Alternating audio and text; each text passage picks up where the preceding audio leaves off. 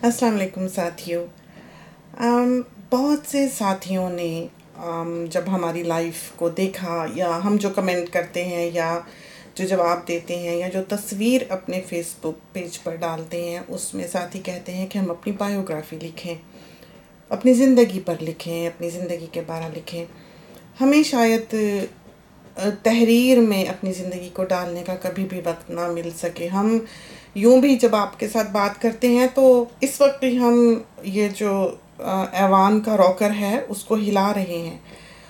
और साथ साथ एक और काम भी कर रहे हैं, और हमारे जहन में ये तस्वीर को देखते हुए जब हमने इसके कमेंट्स पढ़े हैं तो यादों के दरीचे जो हैं, वो खुलते चले गए हैं। हमारा बहुत दिल करता है, बारहा दिल करता है कि हम अपनी वो यादें जो हमने अफ्रीका में गुजारी, कैसे हमारी शादी हुई, कैसे हम गए, हमारे ख्वाब क्या थे, हमने सोचा क्या था और ज़िंदगी कैसी थी। और साथ ये कि आज की दुनिया की जो बच्चियाँ हैं, वो क्या सोचती हैं, क्या ख्वाब देखती हैं और किस हाल में हैं, ये सब कुछ एक तरह से हमारे सामने है। हमें अपनी बच्चियों में बहुत से फ्लॉज दिखाई देते हैं। हमें उनमें वो बहादुरी, वो एनर्जी वो स्ट्रेंथ नहीं नज़र आती, जो कि हमारी कौम की एक बच्ची में होनी चाहिए। हमारा अपना जो ब्रॉटअप था, वो एक हैप्पी हैप्पी फैमिली में नहीं हुआ। हमारी दो अम्मियाँ थीं, हमारे वालिद एक तरह से बटे हुए थे। हमने उनको ज़िंदगी में बहुत कम देखा। जब तक हमारी शादी हुई वो जॉब पर थे अपनी और हुकूमत की, एक बहुत बड़ी पोस्ट थी उनकी और वो एक इदारे के, बहुत बड़े इदारे के, पाकिस्तान के फाउंडर हैं। तो आते ही रात को दस, साढ़े दस बजे थे और उस ज़माने में कहाँ दो दिन की हफ़्ते में छुट्टी हुआ करती थी? हमें खैर अब नहीं पता कि अब पाकिस्तान में दो दिन की छुट्टी होती है कि नहीं। लेकिन हमने उनको बहुत कम देखा। हमारे लिए अपने अब्बा का ज़िक्र करना बहुत मुश्किल है, बहुत मुश्किल है। यानी कि हम एक भारी दिल से जब भी बात करें उनका ज़िक्र करते हैं। चूँकि हमारी ज़िंदगी में खालिश कमी आ, बहुत बड़ी रह गई।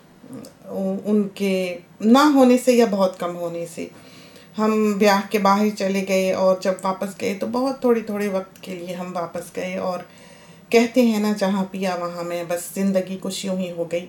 हमारे हस्बैंड जो थे वो जॉब पर थे और ऐसी जगहों पर थे जहाँ से हमारे लिए आना इस तरह आज़ादी से पॉसिबल था भी नहीं और उस ज़माने में बच्चियाँ ब्याही भी यूँ ही जाती थीं कि बस गए तो गए आप वहीं बसें और शौहर जो हैं, जब बीवियाँ उनको छोड़कर चली जाएँ तो वो रुल जाया करते हैं। तो हम शायद इतने मज़बूत दिल के नहीं थे कि हम अपने हस्बैंड को इस तरह दयारे गैर में अकेला छोड़ आते। तो ये जो हम क्लिप रिकॉर्ड कर रहे हैं, ये इसलिए नहीं कि हमारी ज़ात पर रोशनी पड़े या हम क्या थे या हमने ज़िंदगी कैसे गुजारी, बल्कि इसलिए है कि आज की बच्चियों को सीखना चाहिए इससे। वो किसी का नुकसान नहीं करती हैं, वो अपना कर रही होती हैं। वो अपने आप को डिप्रेशन में डालती हैं, अपने आप परेशानी में रहती हैं, अपनी फ़िक्रें उनको जो हैं, वो ऐसी लाहक हैं कि उनको खाए जा रही हैं। एक ऐसी बच्ची जिसने कल की माँ बनना है, जो ब्याह के बाहर गई है वो कैसे एक अच्छी माँ बन सकती है जबकि खुद ही वो टूटी फूटी है? बहुत से फैक्टर्स हैं ज़िंदगी के जो कंट्रीब्यूट करते हैं उसकी इस सिचुएशन में। नंबर वन एक तो वहाँ का वेदर इस तरह का डिप्रेसिंग होता है। बाहर के ममालिक का, खासकर अमेरिका और इंग्लैंड जाने वाली जो बच्चियाँ हैं या यूरोपियन कंट्रीज़ में जाने वाली जो बच्चियाँ हैं, वो एकदम से इतना बड़ा चेंज जो है, वो अपनी ज़िंदगी में एक्सेप्ट नहीं करती। और ज़िंदगी में सबसे बड़ा ड्रॉबैक उनका ये है कि वो महासिन पे, खूबसूरतियों पे और अच्छी चीज़ों पे अपनी ज़िंदगी के पॉजिटिव चीज़ों पे नज़र नहीं रखती हैं, बल्कि पीछे की याद में घुलती रहती हैं। हम उदास हो गए, हम लोनली हो गए, हम तनहा हो गए। हम अगर सिर्फ़ और सिर्फ़ इस तस्वीर पर बोलें तो हम 24 घंटे बोल सकते हैं। आप देख सकते हैं कि हम अफ्रीका में बैठे हैं जहाँ लाइट का एक तरह से कोई ऐसा कॉन्सेप्ट नहीं था। अंधेरे में बैठे हैं। फ्लैश है कैमरे का जो चला है और जिसने ये तस्वीर ली है। उस ज़माने में मोबाइल्स वगैरह का कोई ये सिलसिले नहीं थे। ना ही वहाँ बिजली थी, ना ही वहाँ पानी था, ना वहाँ गैस थी। हम लकड़ियाँ काटते थे और आग जलाते थे और ज़ाहिर है कि लकड़ियों का चूल्हा घर के अंदर तो हो नहीं सकता। तो यूँ ही सड़क पर या मैदान में जहाँ सारी दुनिया चलती फिरती है, हम वहीं अपना किचन जो है वो बनाकर बैठे हुआ करते थे। तीन पत्थर रखते थे। आपने कुछ तस्वीर में देखे भी होंगे कि तीन बड़े स्टोन हैं, उसके ऊपर हमने पॉट रखी हुई है। जो पॉट्स वहाँ पर यूज़ होती थी, वो इस तरह की सिविलाइज्ड पॉट्स नहीं थी, बल्कि जो किसी ज़माने में जब वेस्ट अफ्रीका का डाउनफॉल हुआ है, एक ज़माना था कि वो बेहतर हाल में भी था। वो ममालिक जो थे, वो तरक्की की तरफ़ भी गामजन थे। उस ज़माने में ये बिजली वगैरह बिछाने के सिलसिले जो थे, वो चले थे वहाँ पर। उसके बाद फिर वो दोबारा से कौमें जो थी, वो तबाही की तरफ़ चल निकली। तो वो जो तारें थी पोल्स के ऊपर लगाई गई, वो लोग चुरा लाते थे रात के अंधेरे में उनको काट के और उनको पिघला कर ये पॉट्स बनाई जाती थी, जो कि अमूमन ही आप हमारी तस्वीर में देखते हैं। ये जो आज का फैंसी फैंसी लाइफ है, ये हमारी वहाँ नहीं थी। हम एक बहुत वेल ऑफ़ घराने से ताल्लुक़ रखते थे। हमारी शादी हुई। तो हम वही कॉन्सेप्ट लेके लंदन अमेरिका का अपने दिल में गए थे। और वो ज़माना वो था भी नहीं कि आप इतना तस्वीर में देख सकें या दुनिया इतनी छोटी हो कि आपको पता हो कि अफ्रीका में क्या होता है। तो आप यही समझा करते थे कि जहाज़ में बैठेंगे तो लंदन, अमेरिका की तरह एक सिविलाइज्ड दुनिया में आप पहुँच जाएँगे। हमारा भी यही ख्याल था, अठारह साल की उम्र में हमारी शादी हो गई। हम फाइनल ईयर के स्टूडेंट थे, हम अपनी उम्र से आगे पढ़े तो इस तस्वीर में आप देखें कि हमने लिपस्टिक भी लगाई हुई है, हमने काजल भी लगाया हुआ है, हमने जेवर भी पहन रखा है और इयर भी हैं चेन्स भी हैं। हालाँकि हम बिल्कुल एक ऐसे इलाके में बसते हैं जहाँ हमारी इन चीज़ों को देखने वाला कोई नहीं है। बहुत ही गुर्बत की दुनिया थी वहाँ पर। हम इस वक्त इस तस्वीर में बैठे हुए अपना घर बांट रहे थे। हमने हर चीज़ जो घर की थी, वो इस रात फ्लाई आउट करने से एक रात पहले बाहर निकाल दी थी और सारे शहर के लोगों में वो सामान बांट दिया था। हम जब आए तो हमारे साथ दो चार और पाकिस्तानी थे जो हमें एयरपोर्ट पे मिले। जब उन्होंने देखा कि हम एक सूट केस के पास खड़े हैं तो उन्होंने हमारा सूट केस उठा के चेक इन के वक्त बेल्ट पे रखा वे करने के लिए। जब उन्होंने उठाया तो उनके ध्यान में ये था कि वो भरा हुआ सूट केस होगा। ज़ाहिर है कि हम वापस अपने मुल्क जा रहे हैं छः साल के बाद। जब उन्होंने उठाया तो उनका हाथ काफ़ी ऊपर चला गया, चूँकि सूट केस जो था वो एम था। और वो सूट केस भी हम इसलिए लेकर आए कि वो हमारे जहेज़ की एक याद था। तो हमारे बच्चों के तन पे भी जो कपड़े थे, बस वही थे। फिर हम जिनके घर आए, उन्होंने अपने बच्चों के बड़े कपड़े जो थे, वो दिए कि हमारे बच्चे बदल कर पहन सकें, चूँकि उस रोज़ आम तातील थी इंग्लैंड में और कोई भी चीज़ जो है वो अवेलेबल नहीं थी। तो हमने ये सोचा था कि जाते ही हम किसी भी शॉप से कोई कपड़े ख़रीद लेंगे और बच्चों को पहना देंगे तो हम यहाँ से नहीं लेके जाते क्योंकि यहाँ के लोग बहुत ज़रूरतमंद हैं। इस तस्वीर में हमारी बेटी है सामने मिडिल में, जिसका अभी ऐवान है बेटा। और साइड पे जो बॉय दिखाई दे रहा है, वो हमारा बेटा है, जो कि अब डॉक्टर है। इस तस्वीर में एक लड़की है, बिल्कुल उसका साइड फेस दिख रहा है। ऐसे लगता है जैसे उसने प्लास्टिक का कैप सा पहन रखा है। येलोइश कलर का उसका ब्लाउज है, बिल्कुल आप राइट साइड के सामने फ्रंट पर देख लें। वो बच्ची जो है, वो बच्ची हमने रखी अपने घर। वहाँ पर सिर्फ़ रोटी के लिए भी मुलाजिम रख सकते थे। हम वैसे पॉकेट मनी देते थे उनको। और ये बच्चे जो हैं, चार ये हमारे पास ही रहते थे, दो बॉयज़ और दो गर्ल्स हमेशा हमारे घर में रहीं।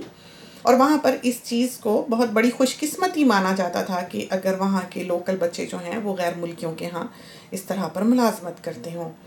बोलते समय हमें समझ नहीं आता है कि हम अपनी जो कहानी है या ज़िंदगी है जो बात हम करना चाहते हैं, उसको कहाँ कहाँ से कवर करें? हम जब इस बारे में बोलना शुरू करते हैं या सोचना शुरू करते हैं या ये एक तस्वीर भी हमारे सामने आती है तो हमको यूँ महसूस होता है जैसे यादें जो हैं, वो चादरें लपेट के हमारे आसपास आसपास आकर घेरा डाल लेती हैं और हम बीच में बैठे उनको कहानी सुनाते हैं।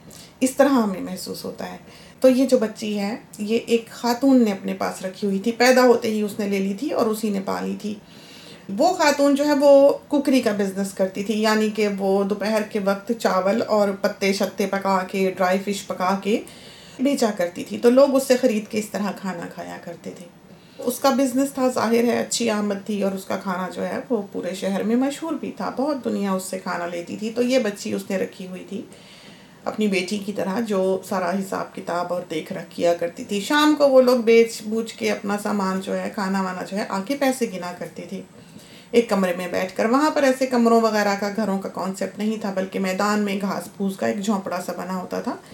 कच्ची ईंटों की ही दीवारें और सलाखें बाज़ात जो हैं, वो उनकी विंडोज़ में लगा दी जाती थी। इस तरह के घर होते थे, सलाखों वाले, या कमरे ही होते थे, और घास के ही बस गद्दे होते थे जिन पर वो सोते थे। ऐसे अलमारियाँ वगैरह ये कुछ नहीं होता था वहाँ पर। तो जो कपड़े थे पहनने वाले, या जो धोतियाँ वो लोग बांधा करते थे, वो इसी तरह एक रस्सी बाँध कर उस पर वो लोग डाल दिया करते थे। और अंधेरा होता है, बिजली तो वहाँ होती नहीं थी तो सब जो थे वो कैरोसिन लैंप या छोटा सा दिया या कोई चीज़ इस तरह की जलाया करते थे। वो भी सिर्फ़ ख़ास मखसूस आवर्स में, जबकि उन्हें बहुत ज़रूरत हो। वो लोग वहाँ पर पाम ऑयल खाते थे। पाम ऑयल रेड कलर का होता है, काफ़ी डीप रेड सा होता है ऑरेंज रेड सा।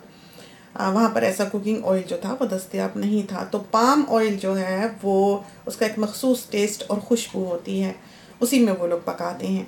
पाम ऑयल में हमारे ख्याल में विटामिन ए होता है या जो भी उसमें है, वो चीज़ है जो उनकी रात को देखने की, अंधेरे में देखने की सलाहियत को बहुत बढ़ा देती है। हम जैसे अगर किसी स्ट्रीट पे रात को चलते थे तो हमें कुछ दिखाई नहीं देता था, बिल्कुल कुछ नहीं दिखाई देता था, क्योंकि वहाँ दूर दूर रोशनी का नामो निशान नहीं था। सितारे निकले होते, चाँद निकला होता तो दिखता था, लेकिन जिस दिन डार्क नाइट होती थी उस दिन हमें दिखाई नहीं देता था। तो हम अंधों की तरह जो हमारा हाउस कीपर हुआ करता था, जो भी, जिसके साथ हम बाहर जाते थे, हमने उसका बाजू थामा होता था। तो हम ब्लाइंड वुमेन की तरह जो है, वहाँ की स्ट्रीट्स पर कभी फिरने निकलते तो इस तरह जाया करते थे। तो पाम ऑयल जो है, वो सारी ज़िंदगी चूँकि वहाँ के लोग खाते हैं और उनको खुदा ताला ने ये सलाहियत उनकी आँखों में दी हुई है कि वो अंधेरे में देख सकते हैं। हम लोग नहीं देख सकते, चूँकि हमारी डाइट और है, हम और तरह बने हैं और हम वहाँ की पैदावार नहीं हैं। उन लोगों में हमने ये खूबियाँ देखी और दूसरा यह है कि हम कांटे नहीं खा सकते फ़िश के। वो कांटे जो हैं, वो हमारे थ्रोट में चुप जाते हैं। जबकि वहाँ के लोकल लोग जो हैं, जब वो खाना खाया करते थे तो उनके खाने के ऊपर कांटे जो हैं, वो कई सौ की तादाद में खाने से बाहर निकले हुआ करते थे, जब वो पत्ते खाने के लिए अपनी चावलों पे डालते थे।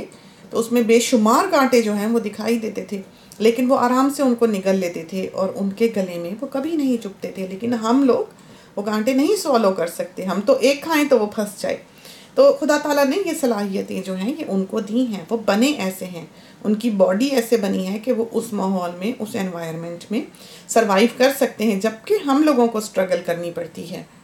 तो देखा आपने, हम बातों में कहाँ से कहाँ निकल जाते हैं और किस तरह पर वो सफ़ेद चादर लपेटे जो यादें हैं, वो हमारे आस पास आन बैठती हैं। और इतना कुछ है उस बारे में बताने को कि हमें समझ नहीं आती कि हम कहाँ से शुरू करें और कहाँ पर ख़त्म करें। तो ये जो ताम आ रही थी, ये शाम को इन्होंने अपना खाना वाना जब ख़त्म किया, इसकी जो वालदा थी और आकर वो पैसे ऐसे गिनने लगी। तो कहीं कुछ चादर जो थी, जो उन्होंने धोती, रस्सी पे डाली हुई थी, उस पर किसी तरह लगी है। और उन्होंने पैसे गिनते समय वो जो दरवाज़ा था, वो बंद किया हुआ था कमरे का।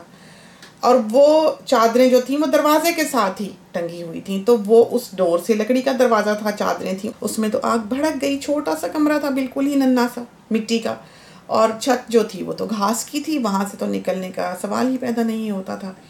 और उस गाँव में, या उस शहर में जो भी आप उसे कह लें, एक पागल हुआ करता था। वो ऐसे ही कोई उसे खाना दे देता, या कोई पैसे दे देता, बिल्कुल दीवाना था। सारा वक्त शराब ही पी छोड़ता था। वो पाम वाइन निकलती है वहाँ पर, पाम के दरख्तों से। तो वो पी लेते हैं। पोयो कहते थे उसको। तो वो पागल जो था, वो ऐसे ही फिरा करता था दीवाना। तो जिस वक्त उस घर को, कमरे को आग लगी है, वो पागल कहीं उस वक्त जो है, उस कमरे के पास से गुजर रहा था, जिसको आग लगी हुई थी। तो उसने क्या किया कि बढ़कर वो जो खिड़की थी जनूनी ने, उसने उस खिड़की की सलाह खींची। हालाँकि वो आग में थी, वो खुद भी जला, उसका हाथ भी जला लेकिन उसने किसी तरह से वो सलाख जो थी, एक वो हिला ली या निकाल ली या टेढ़ी कर ली। उसमें इतना फासला बन गया कि ये जो ता मारी थी, ये उसमें से निकाली जा सकी कि इसने बाहर छलांग लगा दी, चूँकि वो छोटी बच्ची थी, बिल्कुल ही पाँच छः साल की। लेकिन बड़े जो थे, वो तो सवाल ही पैदा नहीं होता कि अंदर से निकल सकते, वो अंदर जल गए। और उनको जलों को हमारे ही हॉस्पिटल में लेके आया गया। हमने पानी शानी, दूध छूत फौरी तौर पे भेजा। हम देखने तो नहीं गए, ना हम में हिम्मत थी, क्योंकि बिल्कुल जल चुके हुए थे एटी परसेंट से ज़्यादा बिल्कुल। तो दोनों ही जो थी, वो नहीं बच सकी। तामारी जो थी, वो बिल्कुल ही फिर दुनिया में तनहा रह गई कि उसका कोई भी नहीं था। जब ये बच्ची साथ लाई गई तो इसकी पलकें और इसके बाल, सर के सब जले हुए थे, झुलसे हुए थे। जैसे आग से जल के झुलस जाते हैं बाल, ऐसे थे। पलकें तक इसकी जली हुई थी तो हमने इस बच्ची को फिर घर में रख लिया। हमारे साथ ही रही, बहुत अच्छी रही, और बहुत खिदमत की इसने हमारी, बहुत छोटी बच्ची थी। हिम्मत से बढ़ के काम करती थी, सोई होती थी, नींद अभी गहरी थी, उम्र का तकाजा था। हम आवाज़ देते तो बिल्कुल हड़बड़ा के भागी चली आती। और इसी ने ही ये जो ऐवान की अम्मी है, उसको पाला है। ऐवान की अम्मी ने जिस वक्त वो मुल्क छोड़ा, वो फ़ोर एंड हाफ़ ईयर्स की थी और फोर एंड हाफ़ ईयर्स तक तामारी जो थी उसने ही ऐवान की वालदा को पाला। उसकी मैचिंग जूते उसके मैचिंग कपड़े उसकी मैचिंग पोनीज और साए की तरह उसके साथ साथ जो थी तामारी चला करती थी। हम मिस करते हैं उस वक्त को। आ, बहुत आ, आज सब कुछ है हमारे पास। दुनिया की कोई ऐसी चीज़ नहीं है जो हम सोचें कि हम हासिल नहीं कर सकते। हमें खुदा ने बहुत नवाजा। ये सिर्फ़ और सिर्फ़ अल्लाह ताला के फजल हैं। हमारा उसमें कुछ हाथ नहीं है। तो एक वक्त आया हमने वो मुल्क छोड़ना ही था। अब जबकि मोबाइल के ज़माने हैं, बैटरियाँ वगैरह आने लग गई, सोलर चलने लग गया तो उस मुल्क में भी हमारा एक आध शख्स से रबता हुआ है। इससे जो बड़ी लड़की हमारे पास रहती थी, हमारी उससे एक आध बार ऑस्ट्रेलिया से अभी रिसेंटली बात हुई है। कहीं से उसने हमारा नंबर लिया और हमसे कांटेक्ट किया है पाकिस्तान के थ्रू तो अफ्रीका में वो है और उसने बताया कि तामारी के अब तीन चार बेटे हैं और खुशबाश अपने शोहर के साथ रहती है। और जो बड़ी बच्ची थी हमारे पास रहती, उसके भी तीन या चार बेटे हैं और वो भी अपने घर में सुखी बसती है। उर्दू बोलती है, अब भी ये बच्चियाँ हमारे साथ उर्दू ही बोला करती थी, सीख गई। उम्र ऐसी थी, यंग बच्चियाँ थी। तो अफ्रीका हमें इसलिए याद आता है कि वहाँ लोग थे। सादा लौह लोग थे, मोहब्बत करने वाले लोग थे। हम जब पकाते थे बाहर सहन में बैठकर तो सारे जो छाबड़ी वाले थे, वो अपना सामान बेच पूछ कर आके हमारे किचन में या जहाँ हमने पत्थर रखे होते थे कुकिंग के लिए, वहाँ बैठ जाया करते थे। सब दाएँ बाएँ बैठ जाते, कोई पत्ते तोड़ता, कोई फ़िश साफ़ करता, कोई कुएँ से पानी निकालता, कोई पॉट धो के लाता।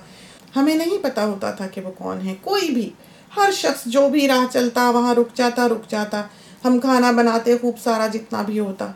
एक बड़े से बाफ में, एक बड़े से थाल में हम वो खाना निकाल के रख देते और जितने लोग वहाँ पर उस वक्त हमारे किचन में होते थे या जहाँ हमने पत्थर रखे होते थे मैदान में, वहाँ पर वो खाना खा लिया करते थे। वहाँ पर ये नहीं था कि उसने कितना खाया या उसने कितना चमचों वमचों का कोई रिवाज नहीं था, हाथ से ही खाते थे ऐसे बॉल बना के और वो लोग जो हैं वो उबलता उबलता खा सकते हैं। ये सलाहियत उनमें है। हमारी तरह नहीं कि ठंडा होने का इंतज़ार कर रहे हैं। बिल्कुल, अगर वो उबलता उबलता खाने के आदि नहीं होंगे तो उनको कुछ भी नहीं मिलेगा। और ये चीज़ वहाँ की बहुत अच्छी है। हालाँकि उन लोगों के पास खाने को नहीं है। बहुत गरीब दुनिया है, बहुत गुर्बत है। लेकिन वहाँ पर ग्रीड नहीं है। खाना पकता है, कहीं भी कोई बैठा है, कोई बच्चा, कोई बड़ा, कोई आया, कोई गया, कहीं भी खाना बन रहा है, वो आएगा, अपना थाल रखेगा, बेचने वाली चीज़ों का बैठ जाएगा। वहीं दो चार काम शाम करेगा, जब पक जाएगा घर वाले थाल में निकाल देंगे, जो उस वक्त मौजूद होगा, वो खा लेगा, जो नहीं होगा, वो रह जाएगा। तो खाने का वक्त जो है, उनका सनसेट से ज़रा पहले होता है तो सारे लोग जो हैं, वो दिन में एक दफ़ा ही खाना खाते हैं। वहाँ पर ये फैसिलिटी नहीं है लग्जरी नहीं है, कि आपको दो या तीन बार दिन में खाने को मिले। तो शाम को एक वक्त ही खाना खाया जाता है। तो ये वो दुनिया थी, वहाँ की बहुत सी कहानियाँ हैं। हमारा हॉस्पिटल जहाँ था, वहाँ से थोड़ा सा आगे एक स्कूल था, बहुत बड़ा। जहाँ पर सारे ही शहर के बच्चे जो हैं वो पढ़ा करते थे। तो कभी कभी हम सुबह सुबह जाते हॉस्पिटल वगैरह को चेक करने के लिए तो हम देखा करते कि बच्चे जो हैं वो नंगे पाँव स्कूल जा रहे हैं। तो हम सोचा करते थे कि काश कभी हमारे पास ऐसी तौफीक हो कि हम इन बच्चों को इतनी शदीद गर्मी में कि पाँव में आबले पड़ते हैं उस मिट्टी पे पाँव रखने से, कि हम इनको एक चप्पल ही लेके दे सकें। हमारा दिल चाहता है कभी कभी कि हम यहाँ पर एक ऐसी चैरिटी का आगाज़ करें कि इस किस्म की सहूलत जो है वो उन ममालिक में छोटी छोटी चीज़ों के लिए फराहम की जा सके कि जिनके पास पानी नहीं है, उनके लिए कुएँ खुदवाए जा सकें, जिनको इलाज के पैसे नहीं मिलते हैं, उनका इलाज करवाया जा सके। जिन बच्चों के पास स्कूल के पढ़ाई के पैसे देने को फ़ी नहीं है, उनकी फ़ी पे की जा सके। लेकिन ये तो एक इतना ब्रॉड सिलसिला होगा कि शायद हम उसको संभाल भी ना सकें। हमसे पर्सनली जो हो सका, हमने किया, जो ऑर्गेनाइजेशंस हैं वहाँ पर करने वाली एफ़ है वर्ल्ड हेल्थ है यूनाइटेड नेशंस हैं स्टेशंस हैं इंटरनेशनल ऑर्गेनाइजेशंस के वॉल्टियर्स चाहते हैं, सब काम करते हैं वहाँ पर, अच्छे लोग हैं, करते हैं।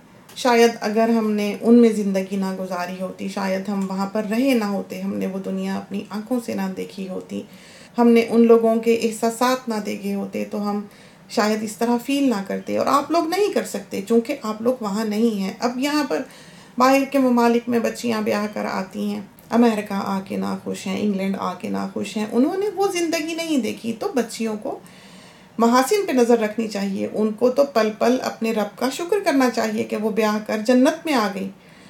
तो अगर हम रात के इस अंधेरे में, उस दुनिया में, जहाँ बिजली नहीं, पानी नहीं, गैस नहीं, इस तरह पर तैयार शैयार होकर बैठे हो सकते हैं और हम कोई तस्वीर के लिए तैयार नहीं हुए थे। हम हर वक्त ही इस तरह रहते थे। तो अपने आप को इंसान ठीक ठाक रखे, उसका भी उसकी रूह पर असर है। अगर वो इस तरह रुला हुआ रहेगा, बीबी फ़कीरन बन के फिरता रहेगा तो वो एक मुर्दा इंसान बन जाएगा अंदर से भी। तो ये चीज़ें जो हैं, आप जब लो फील करें, आप जब उदास हों, आप जब परेशान हों तो आप नहाएँ धोएँ, अपने आप को थोड़ा बहुत तैयार शैयार करें और थोड़ी देर के लिए वॉक पे निकल जाएँ, बाहर निकलें, ताकि आपका ध्यान बदले। ज़िंदगी जो है, वो इस तरह ज़ाया करने के लिए नहीं है कि आप बैठ गए, परेशान होके, उदास होके हाथ पैर छोड़ के ज़रा सी चीज़ ने आपको जो है, वो रन डाउन कर दिया। ये चीज़ें बहुत कॉमनली जो है आजकल की लड़कियों में देखने में आती हैं। तो वहाँ की बहुत सी यादें हैं, बहुत तकलीफ़ दे भी और बहुत खूबसूरत भी। वो दुनिया बहुत खूबसूरत थी। हमने अपनी नौजवानी का एक लंबा अरसा जो है वो उन ममालिक में गुजारा, उस दुनिया में गुजारा। हमने वहाँ देखा कि इंसान इंसान से किस तरह मोहब्बत करता है। हमने देखी बेबसी। हमने देखे बिना अदबियात के मरते हुए लोग। हमने देखे बहुत काबिल लायक बच्चे, बहुत ब्रेनी बच्चे। अपनी पढ़ाइयों को छोड़ते हुए, चूँकि उनके पास देने के लिए फ़ी नहीं थी। हमारे पास वहाँ पर एक किताब थी, एक बुक थी जो हम को कहीं से याद नहीं, अब कहाँ से मिली थी। जिल्द वाली किताब थी, बड़ा शाइनी सा उसका कवर था। उसके कुछ सफ़े पलटने के बाद उसके बीच में एक ब्लैक अमेरिकन जो है, लड़का, कोई बारह चौदह साल का होगा, वो अपने कुत्ते को खाना डाल रहा है। वो छोटा सा जो एनिमल की फीडिंग का टब होता है, उसमें बोल होता है, उसमें और उसने उसके अंदर थोड़ा सा तो जो डॉग फ़ूड होता है वो डाला हुआ है और उसके ऊपर तोड़ के वो एक रॉ एग डाल रहा है। वो एग जो है वो उस बोल में गिरा हुआ है और उसके हाथ में एग का शेल है। वो तस्वीर क्यों थी, क्या थी, किस लिए थी, ये तो हम नहीं जानते, ना ही हमने वो बुक पढ़ी, ना देखी, लेकिन हमारे पास वो किताब मौजूद थी।